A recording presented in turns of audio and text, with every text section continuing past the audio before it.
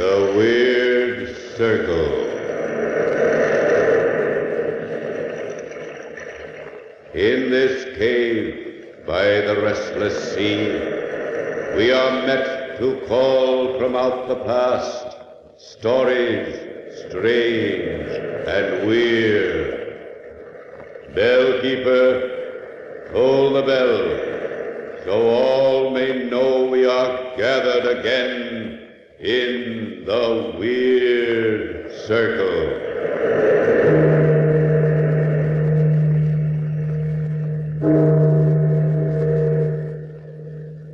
Tonight, the Ogden's Playhouse brings you another Weird Circle story by one of your favorite writers, Edgar Allan Poe. The Cask of Amontillado is the story of a man's desire for revenge. The story of man's desire for smoking satisfaction when rolling his own cigarettes invariably leads the smoker to Ogden's Fine Cut, the tobacco that's famous for its uniform high quality. Try Ogden's. It's a top notch cigarette tobacco on all counts. You'll find Ogden's easy to roll, delightful to smoke. Yes, easy to roll, delightful to smoke. And now, The Cask of Amontillado by Edgar Allan Poe.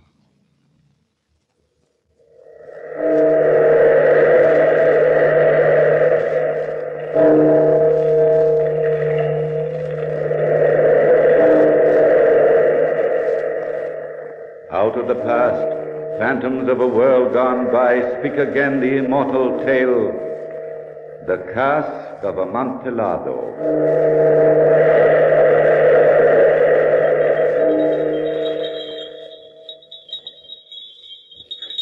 Bells. Jester's bells. For forty years I've lived with the sound of those bells. Fool's bells. Jester's bells.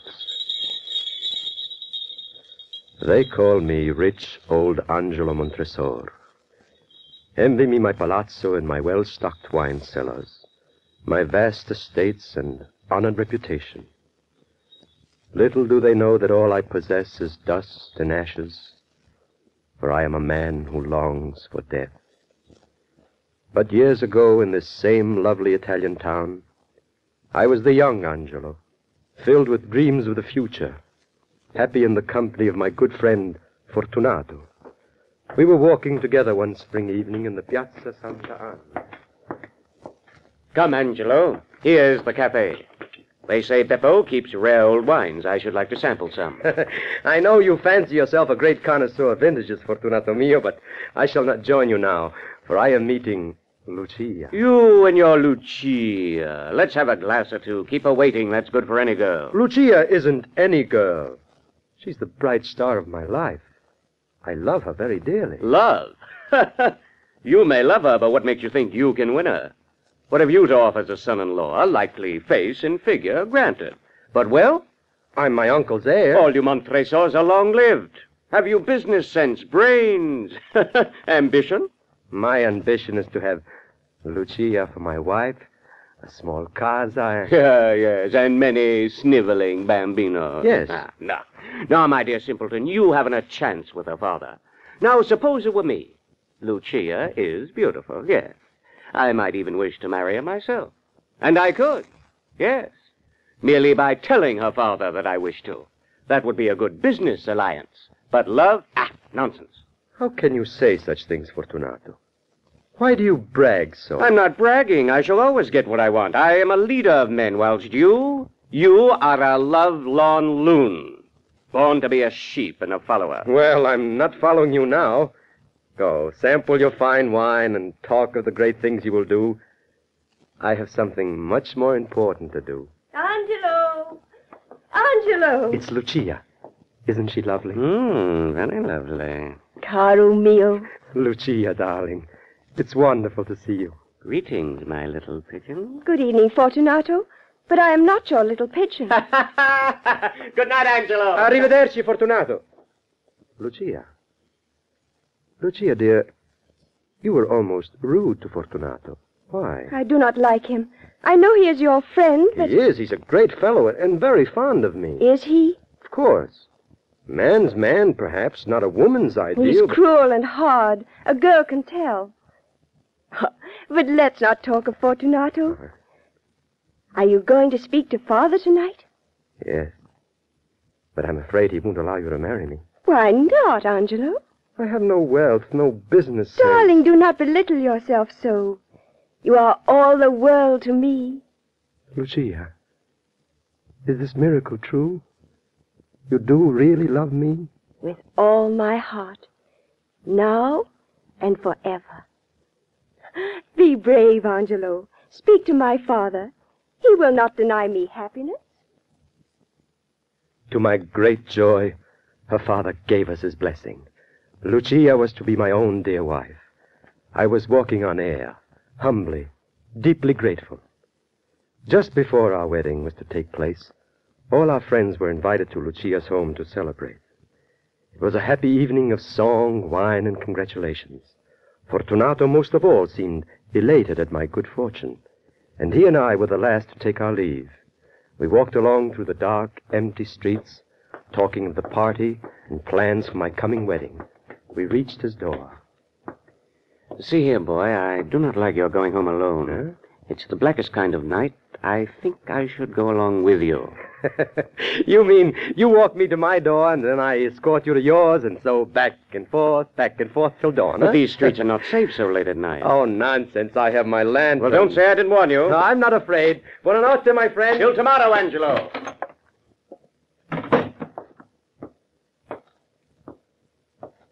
Hmm. That's funny. Fortunato's worrying over me. It is pretty dark. What's that? I keep imagining I hear things. Someone is following me. Who's there? That's him. Grab him. What do you want? Oh, you fool, Rufio. Don't let this lantern shine in your face like that. Smash it. Help! Help! I've got his hands. Get that sack over his head. Keep him quiet, Rufio. But don't kill him. They don't pay for corpses. Just a gentle tap. Uh, as limp as a rag in my arms. Now, take his feet and hurry. We must get away from here. I regained my senses and awoke to a misery of mental and physical anguish. I had no way of knowing where I was. The hot sun was beating down as I lay with other human wretches in the scuppers of a filthy ship. Running through my aching head was the name Rufio, and the picture of that scarred, cruel face glaring in the last glow of my lantern. I had been sold into slavery. I, Angelo Montresor, lashed and beaten on endless marches over burning sands, and on into the barren mountains, where in our misery and pain we were put to hard labor in the stone quarries. I'll not forget those endless years. The ache in my heart for my beloved Lucia, my longing for my native land, and above all the haunting hate I bore for the man Rufio. I swore I'd find him, if not on this earth, then in an even worse hell than the one to which he had condemned me. And then one day, a miracle happened. I escaped. Starving and nearly dead from exhaustion, I reached a small seacoast village. There I begged crusts. Yes, begged in the streets for soldi to buy my passage on some vessel bound for Italy. See here, my son. Look up here. Allah, Allah! Arms! Arms for the love of... Let me look at you. Benedetto Cielo. My language. My native tongue. As I thought, your skin is dark enough and you're filthy as any beggar. But those eyes of yours tell me that once you had another god than Allah. Come, man, speak. Are you not a countryman of mine? Si, signore. And I hope to return to my homeland as I... as I hope for heaven. You are not fleeing justice. I'm seeking justice for the foulest treachery. Well, let that wait. You can tell me your story later.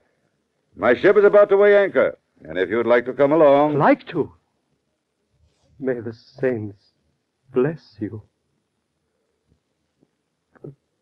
But I have no money to pay you with. Well, don't let that worry you. After a bit of food and rest, I'll I'll let you work your passage home. As a free man, I sailed for home, stepped ashore on the soil of my beloved country, and walked eagerly into the town where I was born. I longed to seek out Lucia, but I was ashamed of the sailor's clothes I wore, so I hurried to my old friend Fortunato's to borrow something suitable. Is Signor Fortunato at home? No, sir. Only the Signora is in. His wife? Si, Signor. Good old Fortunato married? Why, this is wonderful news. My compliments to your mistress, and say that a very old friend of her husband begs an interview. Madame is not well, Oh. but I shall ask if she will see you. Come in, Signora. Uh, thank you. I shall wait here. Signora! I Signora! heard every word, Anna. Leave us. Quickly. Angelo. Angelo. Lucia! Angelo, my love. Oh, is it really you?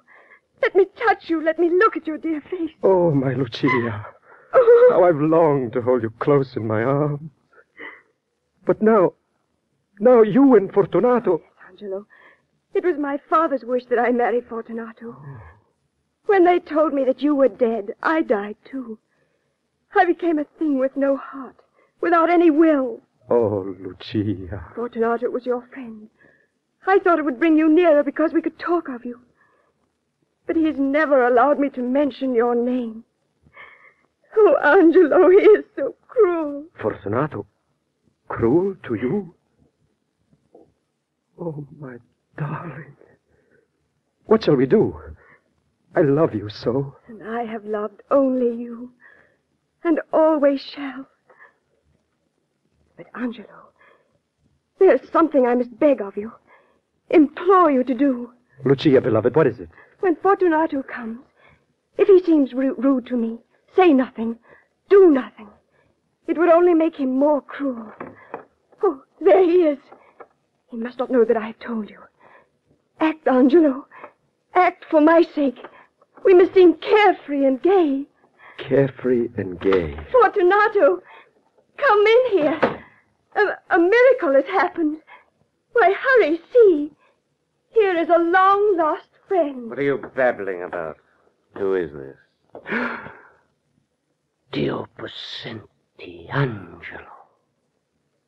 But, but you were killed. No, old friend, not killed. Oh, well, heaven be praised. We've mourned you all these years. What happened? Where have you been? Well, that night I left you at your house, I was followed and, and set upon by two ruffians. Santa Maria. And to think I let you go home alone. Oh, I blame myself. Have you any suspicion as to who- Suspicion? Yes. Absolutely none. Through all the years of torture, I try to think who did this to me?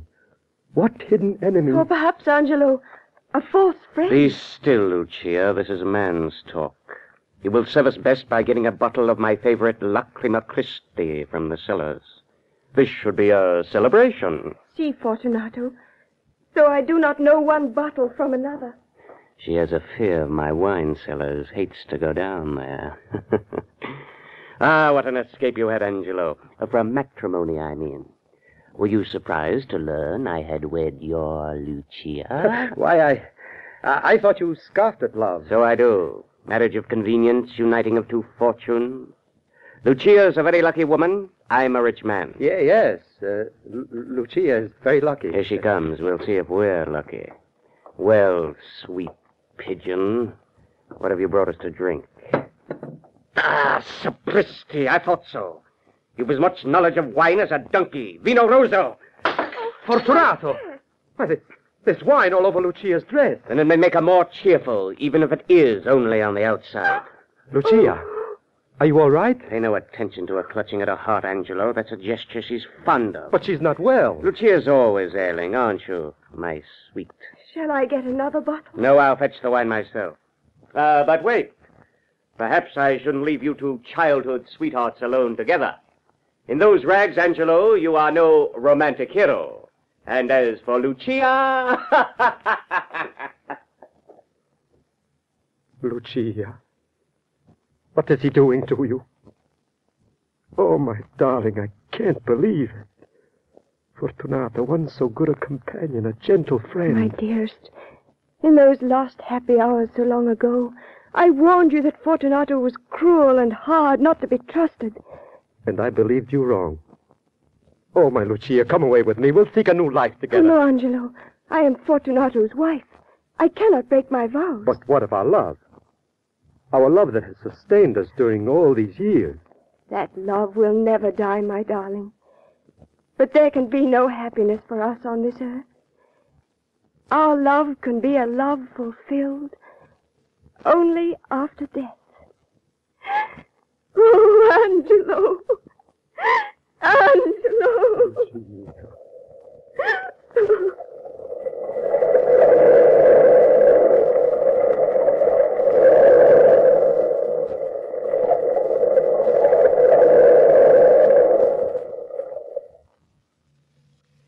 Stories of false friends and intrigue are as old as time itself. Here, however, we have the story of a false friend, Fortunato, whose machinations bring unhappiness and near destruction to two people who seek and deserve a far better fate. The climax of tonight's Weird Circle story promises a disturbing conclusion.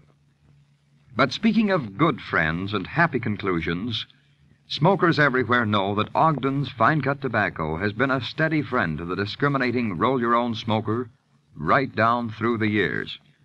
They know, too, that when they say, make mine Ogden's, there's only one possible conclusion, and that's complete smoking satisfaction. Try Ogden's. See how uniformly it rolls into a fine cigarette. And the moment you light up, the inner goodness of Ogden's is yours to enjoy to the full. You'll say that Ogden's is tops in quality. You'll agree that Ogden's is easy to roll, delightful to smoke. Yes, easy to roll, delightful to smoke. And now back to our story The Cask of Amontillado by Edgar Allan Poe. Angelo, on the eve of his wedding to his beloved Lucia, is waylaid and sold into slavery. After long years, he escapes and returns at last to his own house. To his despair, he finds that Lucia, believing him dead, has obeyed her father's wish and has married Fortunato, a connoisseur of wines, and Angelo's best friend. And now our story continues.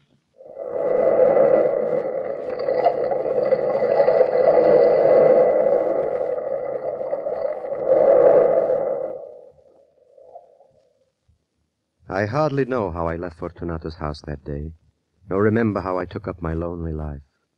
My uncle had died, and I was now the owner of the Montresor fortunes. Months passed. Fortunato and I met, of course. I was unable to understand his treatment of Lucia, but I didn't blame him for my tragedy. He had thought me dead. Seeking forgetfulness, I often wandered to the waterfront. The wretched hovels were usually silent and dark. But one night I saw a glimmer of light and heard angry voices. I was about to pass by when I heard a familiar voice. I, I paid you to kill him, Rufio, you dog, and in order to gain more money, you sold him into slavery. How dare you? Signor Fortunato, that meant death, a slow death. Well, he didn't die. Angelo Montresor is home and alive, and you must do your work again. Oh? Oh. uh, so you have come to pay me more gold for a second killing? Yes. Signor Fortunato, I hate shedding blood, but I do love money. You are a rich man. Surely you don't wish Montresor to learn of your friendly efforts? Blackmail, eh? Persuasion. For my silence, a thousand lire. A thousand deaths! Take that! For your silence. I couldn't move or cry out. I hardly breathed.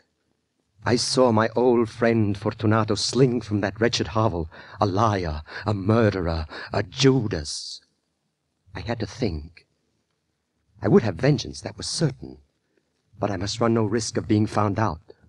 Above all, Lucia must not be involved. She must not learn of her husband's treachery. I began to lay my plans, but vowed that neither by word or deed would I cause Fortunato to doubt my goodwill. This resolve was soon put to the test. It was carnival time. I came to face with Fortunato. The man wore motley, and on his head a pointed jester's cap with bells. Gaily costumed girls followed him.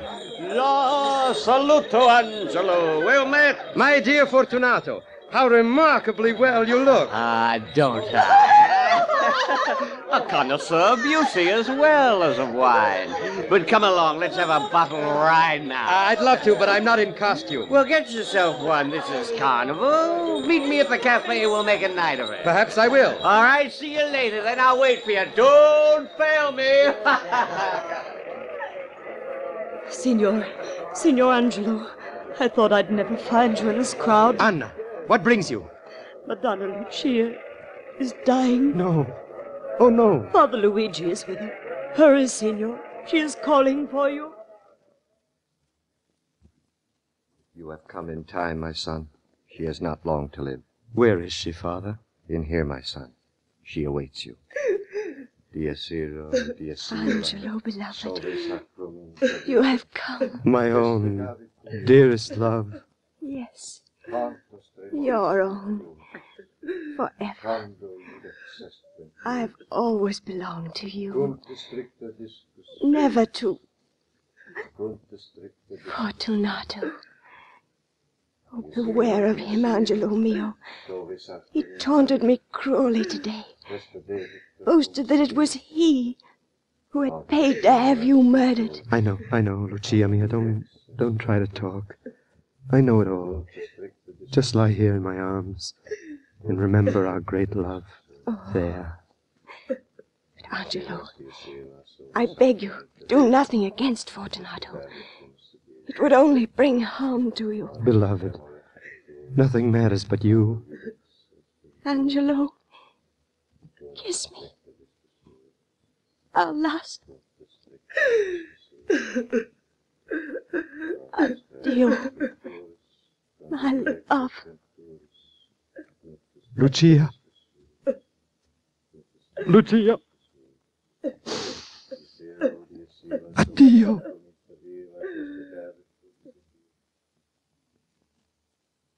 Lucia died in my arms, and my heart died with her. But my mind was keen. At last I was determined that the plan I had made would be carried out. Now, tonight, the carnival was at the height of its madness, and I knew where to find Fortunato. Providing myself with a mask and domino to avoid recognition, I pushed my way through the revelers. Fortunato! Fortunato! Who called? It is I, Angelo. Ah, I didn't know you in that gay disguise. What's the secret? Uh, where can I find Lucchese? Casey, why? Well, uh, some time ago I ordered a cask of Amontillado. Ah, that nectar of the gods. And when I got home just now, I found that it had been delivered. You jest in the middle of the carnival? Yes, and I was silly enough to pay the full Amontillado price. I was afraid of losing a bargain. Lucchese cannot tell Amontillado from Chianti. I am the man to tell you whether you've a bargain or not. Ah, where is this precious cask? In the dungeons of my house, my secret cellar. To the secret cellars, then. Lead on. you're, you're making me thirsty. Oh, no, my friend, no. I can't impose on you. Now, Lucchese... Nonsense, come. No, Fortunato, be sensible. You have a severe cold, and remember, my vaults are damp. My cold. Ah. come. Amontillado. That will cure my cough. Let me judge it for you. Come. Taking two torches from the wall, I gave one to Fortunato and bowed him through suites of rooms to the archway leading to the vaults. Down long, winding stairs, we stood at length on the wet earth of the Montresor catacombs. Fortunato's step was a bit unsteady, for he had tasted much wine, and his bells jingled as he walked. The cask. Where is this cask? Oh, much further on, beyond these newer coffins. Oh, it's cold here. We'd best go back. Your health is precious, and you are a man of importance. I, I cannot be responsible for your illness. Enough. I shall not die of a cough. true, true. Uh, I do not mean that you should. But stop a moment. Here in these bins is wine. A drink of this Chateau Lafite will drive out the damp. Here you are. Break off the neck and warm yourself. Per Bacco. A cheerful spot for a drink with all these coffins and bones, eh? I drink to the buried that repose around us. and I drink with you to your long life. These vaults of yours are enormous. Yes. We're below the riverbed now. Beyond these casks and coffins are the inmost recesses of the catacomb. I can wait no longer. Where is this Amontillado? In there, Through that grill door, an iron door? Looks like a dungeon. so it is. It's the dungeon where the old Montresors kept their precious captives, and where now I keep my most precious vintages. I can hardly see my torch burn so dimly. Oh, that's just because the air is foul in here. But look, there's the great cask. I'll hold your torch. There. Here's a flagon. Go in and sample it to your heart's content. At last, the Amontillado. I have not tasted it in years.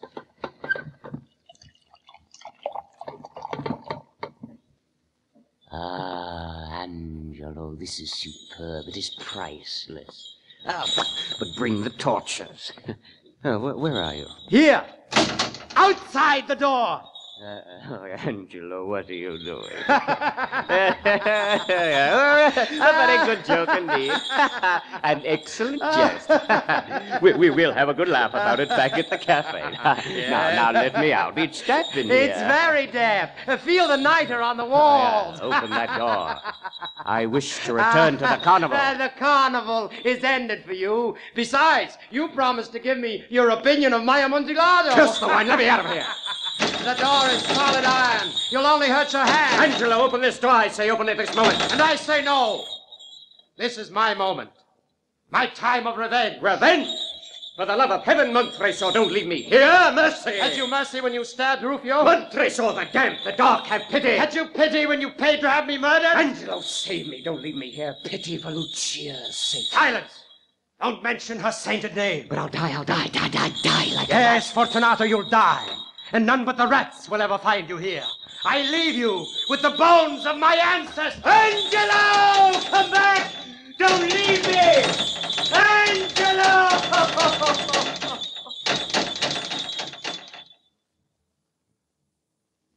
The hideous tinkle of those jester bells. Forty years I've lived with the sound of those bells. Fool's bells. Jester's bells.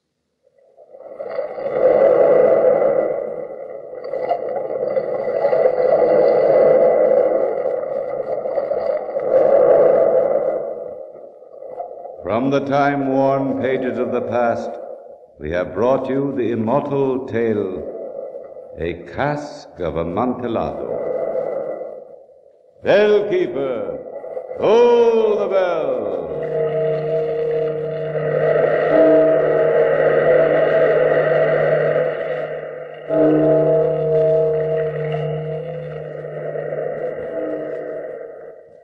Tonight, friends, Ogden's has brought you another Weird Circle story for your listening enjoyment. Remember, for true smoking enjoyment, when you roll your own cigarettes, be sure to use Ogden's fine cut tobacco. It's the acknowledged leader with smokers who know and insist upon quality smoking. A fine cut tobacco that's ideal for rolling mild and satisfying cigarettes. Try Ogden's. You'll find Ogden's easy to roll, delightful to smoke. Yes, easy to roll, delightful to smoke. Next week at this same time, be sure to join us at the Ogden's Playhouse for a radio dramatization of A Rope of Hair by Guy de Maupassant.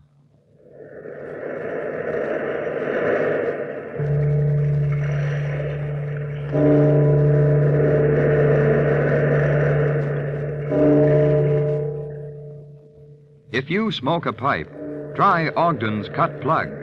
It's a pipe tobacco you'll really enjoy.